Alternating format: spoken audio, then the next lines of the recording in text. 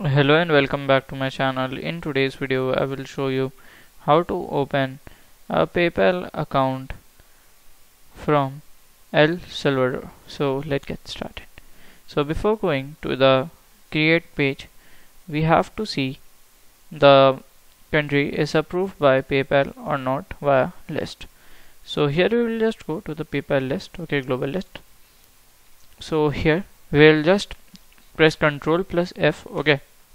And at here I will likely go to the El Salvador okay. So here we will just go to the account opening. So from here we can select for personal okay. Sign up for free. So here we have to select as Liza mail. And then here my fashion like what you like eBay.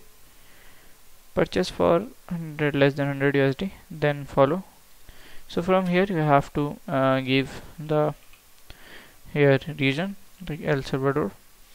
Here you have to give our email address and from here we can able to open. So you can just open it here like this okay.